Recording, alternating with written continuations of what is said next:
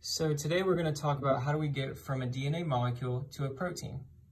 Crick's adapter hypothesis states that small RNA molecules would be the adapters that could be charged with amino acids by specific enzymes that could identify the codons of the mRNA by base pairing, and then that can make the final protein. So first let's talk about the central dogma.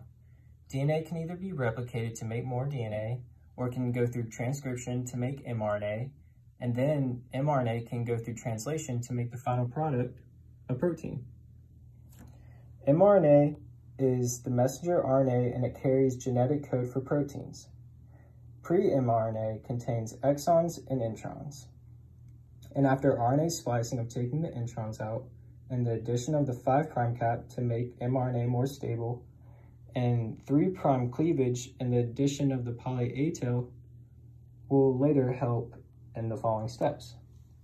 So first we go through tRNA charging, which connects the correct tRNA to the right amino acid. And then we go through the initiation of translation. And so the ribosome connects to the mRNA and it starts coding. And then the tRNA comes in to the A site and then the P site to start making this polypeptide chain.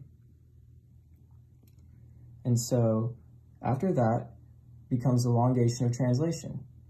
The charged tRNA comes through the A site, and then it connects to the other tRNA that's at the P site and connects these amino acids together.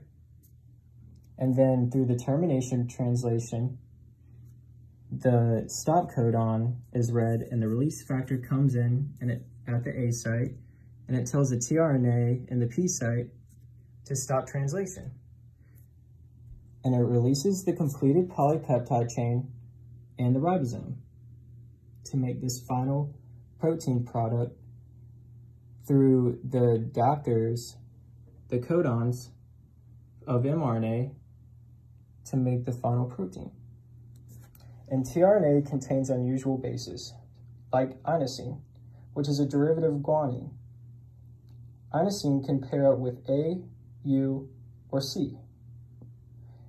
And instead of thinking that it pairs up with A, it thought it could pair up with C, which creates UGC, which makes the cysteine amino acid, instead of pulling in the release factor which can cause this to not stop reading or translating, and this could lead to cancers.